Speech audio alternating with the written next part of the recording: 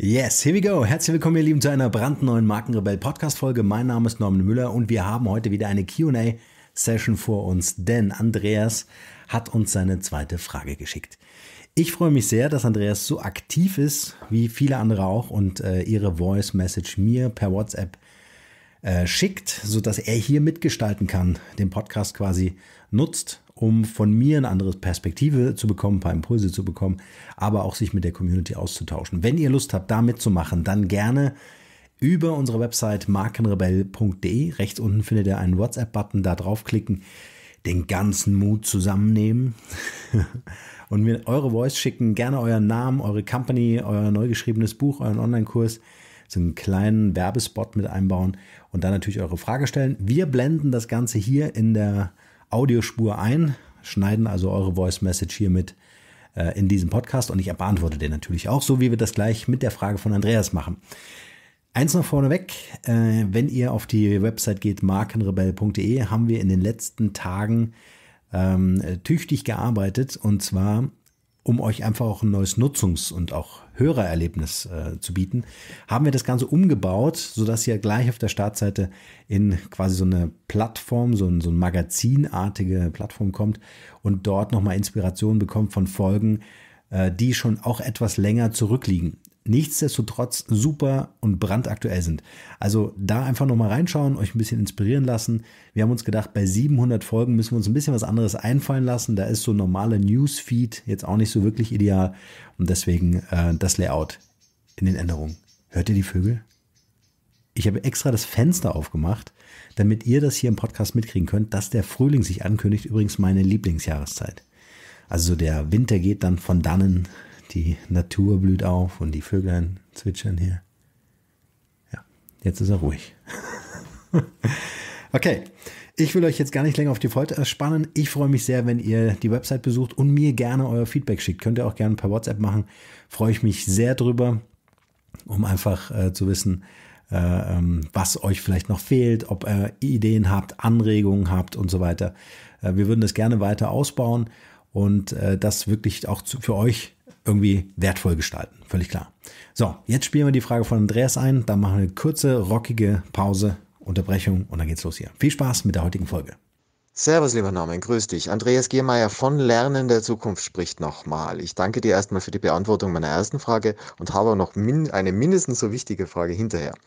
Wie du ja gesagt hast, habe ich das Glück gehabt, lange Jahre mit Vera F. Birkenbiel persönlich zu arbeiten. Und sie war ja auch in den verschiedensten Themen unterwegs. Und das ist beispielsweise die Gehirnforschung, andererseits aber auch äh, Business Training oder auch äh, Themen, die das Lernen betreffen, die Lernpsychologie und auch die Glücksforschung und die, ganze, die ganzen Glücksthemen, die dranhängen.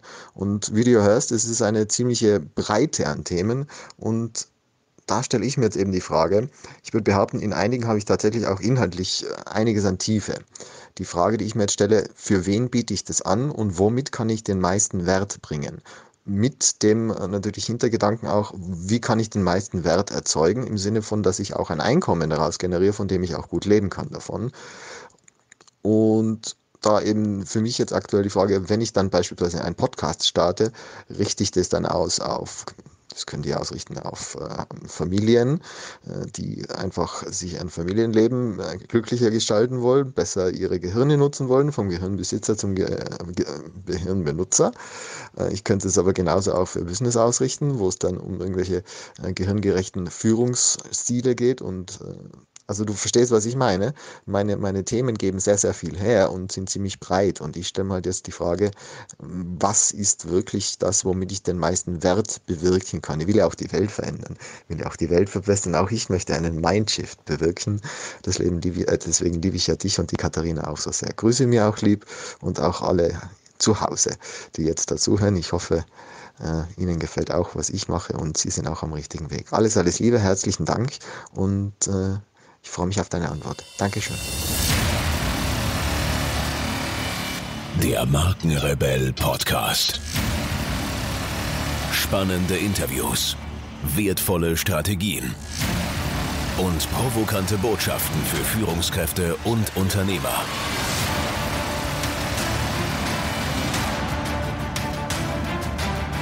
Stell dich den Herausforderungen der Digitalisierung und setze als Marke ein Zeichen. Von und mit Markenrebell Norman Müller. Vielen Dank, Andreas. Eine tolle Frage, denn ich finde es extrem wichtig, sich zu fokussieren. Und damit nehme ich schon ein bisschen was vorne weg. Denn wie ist es so oft im Leben? Wir arbeiten uns irgendwie in ein Thema rein, sind mit voller Leidenschaft dabei. Und was passiert? Wir häufen unfassbar viel Wissen an, weil wir uns einfach jeden Tag damit beschäftigen und diese Expertenschubladen auf und zu machen, auf und zu machen. Und das ist natürlich wie ein Muskel, der da trainiert wird. Wir äh, schaffen ein Wissensnetz in unserem Kopf, wie Vera F. Birkenbiel immer so schön sagt. Und ich zitiere sie an dieser Stelle natürlich bewusst, weil Andreas sehr eng mit ihr zusammengearbeitet hat. Sie verweilt ja leider nicht mehr unter uns. Und ähm, wir assoziieren damit immer neuen Content, immer neuen Content und werden dazu oder, oder dadurch natürlich zu einem Experten oder zu einer Expertin. Und jetzt passiert Folgendes, jetzt versuche ich eine Company aufzubauen oder ich versuche eine Marke zu bauen und jetzt habe ich einfach durch diese unfassbare Vielfalt das Problem, wie komme ich auf meinen Fokus? Und ich möchte euch einfach mal mitnehmen ein Bild, was das Ganze wunderbar beschreibt. Stellt euch vor, ihr seid fünf Jahre alt und ihr geht in so einen, ähm, äh, so einen Spielzeugladen, so ewig groß und prunkvoll in Amerika, in New York. Ja, also allein das Schaufenster, da kannst du eine Woche davor stehen bleiben und entdeckst immer wieder was Neues. Und dann geht dieses fünfjährige Mädchen oder dieser fünfjährige Bub, der ihr seid, einfach mal in den Laden rein und diese ganzen Details und diese ganzen äh, Dinge, die ihr da seht, es ist eine Reizüberflutung auf sämtlichen Sinnesebenen. Ja, das riecht natürlich anders, das sieht alles anders aus und ihr entdeckt dort was und die Augen werden immer größer. Ihr seid überhaupt nicht ansprechbar. Ihr seid wie paralysiert in eurem neuen Kosmos unterwegs. Und so kann man sich das ungefähr vorstellen, dass wenn man sich eingearbeitet hat in ein bestimmtes Thema, dass man natürlich ein unfassbares Wissensnetz, ein unfassbares ähm, Verknüpfen von Nervenbahnen und assoziativen ähm, äh, Themen und, und Wissensgebieten, dass es ein, eigentlich, ja, dass es fast unmöglich ist, allein dort wieder den Fokus hinzukriegen, aus diesem Laden rauszugehen und das rauszupicken, was den größten Wert oder Nutzen hat für potenzielle Kunden. Und das ist genau das, was Andreas gerade schreibt oder äh, gesagt hat, ähm, dass genau das das Thema ist, diesen, wie setze ich diesen Fokus, wie schaffe ich es, da eine Alleinstellung hin äh, ähm, äh, zu kriegen für meine Marke oder für mein Business, was ich aufbauen möchte. Was hat er zum Ziel? Er möchte natürlich mit seiner Leidenschaft, mit dem, was er da gerne macht, natürlich ein Business aufbauen. Er will natürlich davon leben. Warum? Um das, was er an Wert geschaffen hat, noch wertvoller zu machen für seine Kunden. Und mir fiel da ein Zitat auf, das, das habe ich mir sofort aufgeschrieben, äh, ein, ein, Zitat ein. Ähm, den größten Wert bietest du nicht mit Produkten, sondern mit ganzem Herzen und in vollster Leidenschaft oder voller Leidenschaft. Das habe ich vorhin äh, entwickelt, entworfen, als ich die Audionachricht von Andreas gehört habe. Ich, ich, ich lese nochmal vor. Den größten Wert bietest du nicht mit Produkten, sondern mit ganzem Herzen und in voller Leidenschaft. Was möchte ich damit sagen? Ich möchte damit sagen, dass wir nicht dahin gehen müssen und sagen müssen, biete ich jetzt mein, mein, mein ganzes Know-how an für Familien oder für Unternehmer, sondern ich muss mir die Frage stellen, wer wäre denn mein Wunschkunde? Wer würde bei mir zu Hause oder im Büro mir gegenüber sitzen und ich würde mich total auf diesen Termin freuen? Ja, ist das eine Familie, die ich befähige oder unterstütze? Ist das ein Startup? Gründer oder eine Gründerin, äh, die ich gerne unterstützen möchte, oder ist das ein fest etablierter Unternehmer, Unternehmerin eines Großkonzerns? Ja, so. dann muss ich mir einfach die Frage stellen, welche Person, und deswegen sprechen wir immer von Zielgruppen-Avatar, welche Person würde so viel in mir auslösen an Emotionen, dass ich in mir das Gefühl habe oder den, den dringenden Wunsch habe, dieser Person wirklich helfen zu wollen. Und das ist das genialste Business auf dieser Welt, wenn du für und mit Menschen arbeiten kannst, äh, die diesem Ideal weitestgehend entsprechen. Also die eine Wertestruktur, eine Wertematrix abbilden, die sich weitestgehend mit der von dir deckt. Das ist im Grunde das ganze Geheimnis. Weil dann erübrigt sich die ganze Fragerei nach Alleinstellung und wie kann ich hier einen Fokus setzen und wie kann ich hier eine Differenzierungsstrategie in meiner Marke entwickeln. Von ganz allein, denn es ist ein Unterschied, ob ich eine Familie anspreche oder ein ähm, äh, ähm, über Jahrzehnte etablierten Unternehmer oder Unternehmerin. Das ist ein Unterschied. Und dann richtet sich allein schon mein ganzes Angebot und meine ganze Werthaltigkeit entsprechend diesem Zielgruppenavatar aus. Aber diese Arbeit, diesen Prozess, und ja, er ist ein bisschen trocken, aber wichtig, den muss ich führen. Ich muss mich hinsetzen und muss darüber nachdenken. Und vielleicht eine Geschichte, die euch helfen wird. Ich hatte es auch schon mal in einem Podcast gesagt. Jetzt sind es natürlich einige Folgen, die schon gelaufen sind. Deswegen sage ich es hier nochmal ganz kurz. Eine schöne Übung. Stellt euch vor, ihr seid in so einer riesigen Eingangshalle und ihr kennt doch von Raumschiff Enterprise dieses Beamen, ja, und in dieser Eingangshalle, da ist so ein, so ein Kamin an der Seite, riesig große, hohe Decken. Und dann werden so Leute reingebeamt, nämlich 50 an der Zahl, 50 Leute, die ihr euch gerade noch so vorstellen könnt, also so eine halbe Busladung ähm, an Leuten, die ihr gern habt, die ihr mögt, die ihr kennengelernt habt, wo ihr gesagt habt, hey, würde mal einen Kaffee trinken gehen. Ja, also einfach alle Leute, die euch einfallen, Freunde, Familie. So, und äh, diese 50 Leute sind in diesem Raum. Versucht euch da wirklich auch Zeit zu nehmen und äh, in einem ruhigen Moment dem Ganzen auch den Zeitraum zu geben. Das ist wichtig das vorzustellen. So. Und wenn ihr damit soweit klar seid, wenn ihr so ein einigermaßen scharfes Bild vor eurem inneren Auge habt von diesen 50 Personen, dann geht ihr in einen Nebenraum und der ist deutlich, deutlich kleiner. In den passen nur sieben Personen rein. Und diese sieben Personen sind die, die euch folgen, wenn du dich jetzt imaginär umdrehst, du wendest also den, den Rücken dieser Halle mit diesen 50 Menschen zu und gehst in diesen anderen Raum. Und äh, in diesem anderen Raum folgen dir dann sieben Personen.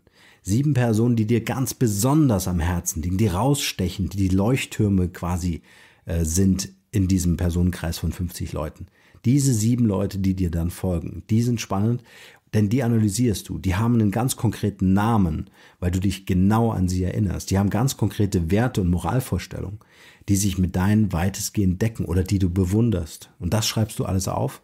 Und aus diesen sieben Leuten entwickelst du deinen Zielgruppenavatar. Kannst dir vorstellen, wenn dir Leute folgen, die knallharte Unternehmer sind, seit vielen Jahren im Geschäft, super erfahrene Mentoren, wertschätzend, achtsam, bam, dann ist das dann sind das die, sieben Leute oder Teile dieser oder ein paar von diesen sieben Leuten, die dir in diesem anderen Raum gefolgt sind. Und dann weißt du auch, okay, die liegen mir offenbar am Herzen. Ich möchte den Leuten helfen. Und dann äh, sind das die Leute, äh, an die du dein Angebot adressierst. Sind es aber eher Familien oder Startups oder was auch immer für Menschen, die dir da folgen, dann äh, ist vielleicht eher das deine Zielgruppe. Und das herauszufinden, das ist jetzt nur eine Methode, die ich gerade genannt habe, äh, um einfach mal diese Reduktionstechnik anzuwenden. Einfach mal zu sagen, okay, ich kenne ganz viele in meinem Netzwerk, aber wer sind die, die mir wirklich wichtig sind und für die ich morgens gerne aus dem Bett springe und sage, für die würde ich gerne arbeiten. Und dann schau dir an und dann braucht man das im Grunde nur da nebeneinander legen, nämlich einmal diesen Zielgruppen-Avatar, diese sieben Personen, die Essenz quasi aus diesem ganzen, aus dieser ganzen riesen Eingangslobby daneben gestellt dein Geschäftsmodell, das, was du anbieten kannst, das, was du an, an Assets vorweisen kannst und was diesen Menschen ein oder für diese Menschen einen besonderen Wert darstellt. Eine kurze Unterbrechung an dieser Stelle in eigener Sache und ich freue mich wirklich riesig, denn ab sofort kannst du dich in die Personal Branding Masterclass einschreiben. Diese Masterclass richtet sich ganz speziell an Unternehmer und Unternehmerinnen, die sich eine Eigenmarke, also eine Personal Brand aufbauen und mit einem residualen Einkommen, viele sagen auch passivem Einkommen, ihr Business skalieren wollen. Ich habe ein neun Wochen Programm entwickelt. In diesen neun Wochen gehe ich jedem einzelnen Teilnehmer einmal die Woche so richtig auf die Nerven. Das heißt, es wird Einzel-Mentorings mit mir geben. Äh, wir werden Live-Webinare zum Thema Podcasting haben, beispielsweise. Wir werden äh, Arbeitsunterlagen und Checklisten haben, Ratgeber als E-Books. Es wird eine äh, VIP Facebook-Gruppe geben. Es gibt ein äh, oder mehrere Masterclass Online-Meetings. Bei mir ist einfach wichtig, dass die Leute, die in der Masterclass drin sind, quasi eine Peer Group bilden und dass ihr euch untereinander helfen könnt. Das ist extrem wichtig für uns Unternehmer, dass wir so eine äh, Gemeinschaft haben, in der wir wachsen können. Wenn euch das Thema interessiert, geht bitte ins Internet unter markenrebell.de slash personal minus Branding-Masterclass. Den Link findet ihr natürlich auch wie gewohnt in den Show Notes zu dieser Podcast-Folge. Und jetzt geht's weiter hier. Viel Spaß. Und daraus formt sich dann es ist jetzt ein bisschen schwierig, in einer Podcast-Folge da so einen kompletten Strategieworkshop reinzuquetschen. Aber ähm, äh, aus dieser Kombination merkst du ganz, ganz schnell, dass du sagst, okay, hey, ähm, ich möchte für Menschen äh, arbeiten, die genau äh, diese Berufsrichtung haben oder diese Perspektive vor sich haben. Ich möchte genau für diese Menschen arbeiten, die genau für diese Werte stehen, für die ich auch stehe, die mir ganz nah am Herzen sind. Und deswegen auch das Zitat, ich lese mal vor, den größten Wert bietest du mit Produkten, äh, bietest du nicht mit Produkten, sorry, sondern mit ganzem Herzen und in voller Leidenschaft.